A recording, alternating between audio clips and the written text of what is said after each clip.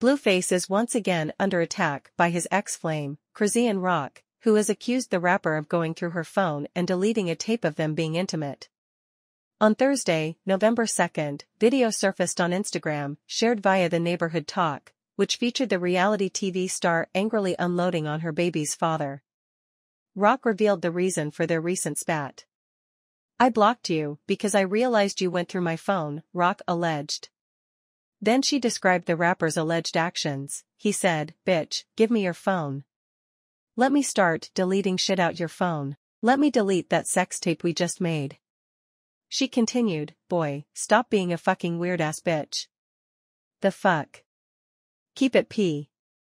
The accusation is the latest in a series of public disses Rock has hurled at the offbeat rapper in recent weeks. On Monday, October 30th, she made a brief appearance during Kai Cenat's week-long livestream from a stage jail. She used the opportunity to take a shot at her ex, and attempted to get everyone else on board. Audio, if it's your birthday make some noise. Can I get everybody in the chat to say, fuck Blueface? Can y'all hear me? We testing the audio, she said.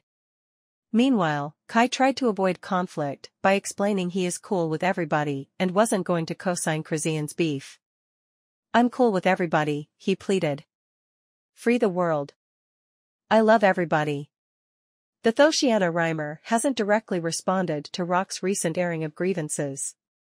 Instead, he popped the question to his current girlfriend Jaidyn Alexis, with whom he shares two kids.